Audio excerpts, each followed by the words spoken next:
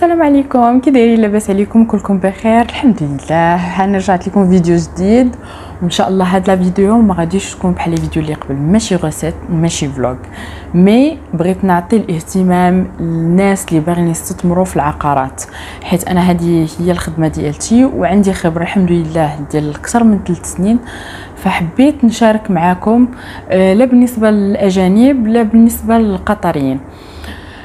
ففي هاد la vidéo غادي نهضر بالخليجي شوية باش هما يقدروا يفهموني لأن c'est la tendance ديال شراء العقارات في دولة قطر. وحنا تبارك الله المغاربة كيفهموا كاع اللغات كاع اللهجات. حنا تبارك الله علينا كنفهموا كل شيء. فما يكونش عندي مشكل مع المغاربة ديالي ولكن القطريين ما غاديش يفهموا اللغة ديالتنا. هذاك الشيء علاش غادي نحاول نهضر. و... وعلاش لا نتوما تاخذوا فكرة. الوغ ما تزابيوش خليكم معايا ونبدا لا فيديو ديالتي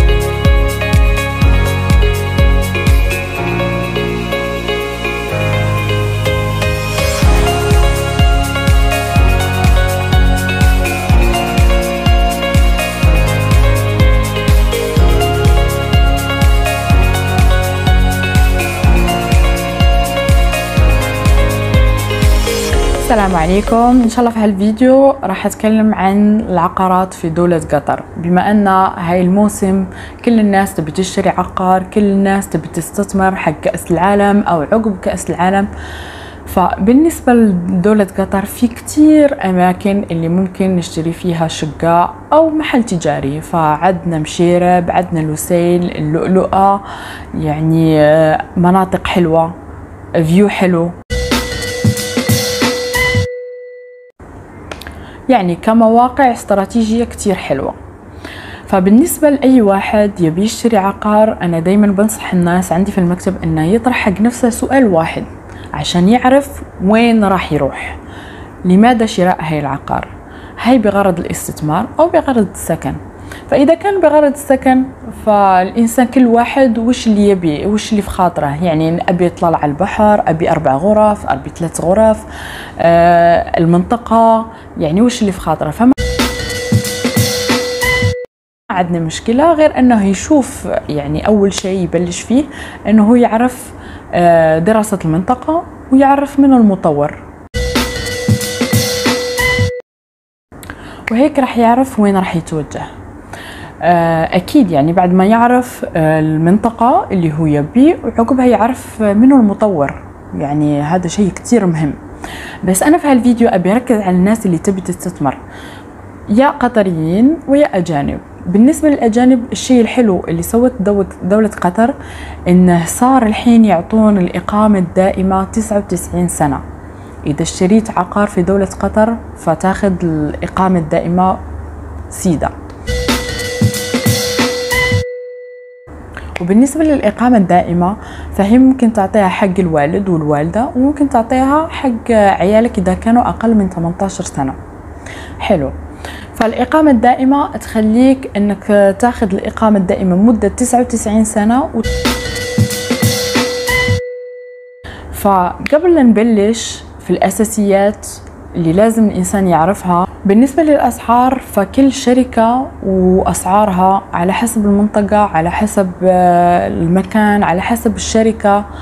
ففي شركات أجنبية وفي شركات قطرية. هذا من صوب. من صوب الثاني اللي يبي ينصح فيه الناس المستثمرين إذا تبي تشتري عقار حق استثمار ويكون عندك عائد الربح يعني بسرعة فدايما أنصح الناس أنهم يأخذون بس الغرفة الواحدة. لأن الغرفة دغري بتتأجر دغري بتبيعها ما عندنا مشكلة. أما بالنسبة للغرفتين بعد بتيجي في المرحلة الثانية. أما ثلاث غرف فهي مش للاستثمار. فأي واحد يبي يستثمر فأتوقع أن في كل في كل مكان ثلاث غرف بتكون دايما صعبة. أما الغرفة والغرفتين فهي سهلة التأجير سهلة البيع دغري الإنسان ممكن يتخلص منها ودغري بيحصل على عائد البيع. الشيء الثاني انه يكون فيها مرافق مثل ال swimming pool قاعة الرياضة. هادو أغلب المطورين يعني بيكون مع عندك الشقة بيكون عندك اوتوماتيكيا هاي ال swimming pool وقاعة الرياضة. بس يكون فيها أشياء ثانية اللي هي مدرسة قريبة آه، وسائل النقل المترو آه، أكيد يعني يكون مناطق حق ترفيه العيال بيكون هذا الشيء ينجذب للاجنبي انه دغري بيأجر. لأن نحن لما نتكلم عن الإيجار في قطر فهو دائما يتأجر حق الأجانب. والأجانب بيكون عندهم شغل بيكون عندهم عيال بيحبون يعني المنطقة اللي ساكنين فيها يكون فيها يعني كثير أشياء. آه سوبر ماركت ليش لا؟ فبهي الشيء يكون عندك أنت بونيوس فبتوفر لك المناطق العمومية حق الناس. الشقة مالتك تضمن إنها تكون من ضمن اختيار الأجير.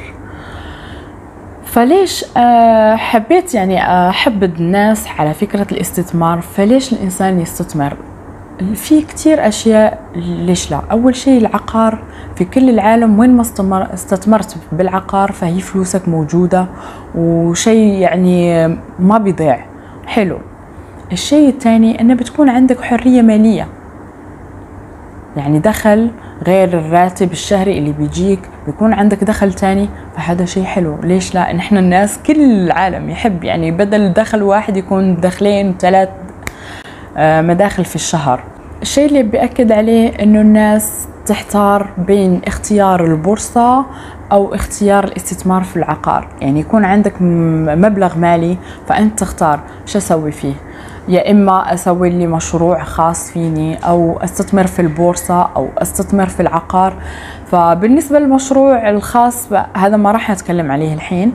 بس بالنسبة للبورصة أنا بقول لكم إن العائد الربح للبورصة بيكون في حدود ال 2 3 في المية. أما بالنسبة عائد الربح الاستثمار العقاري بيكون من 6 في المية لفوق. يعني هذا شيء يحفز الإنسان أنه يستثمر في العقارات. في جميع دول الخليج. الحمد لله دول الخليج الحين صاروا يعني ضامنين آه، حق الشاري حقوقه كلها بالكامل.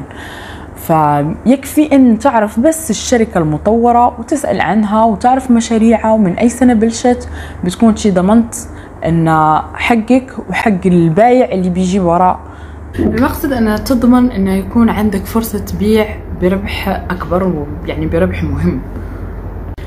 أحبابي إن شاء الله أكون عززت لكم فكرة الاستثمار في العقارات لأن ليش فينا ما يحب يعني ما يحب دخل تاني.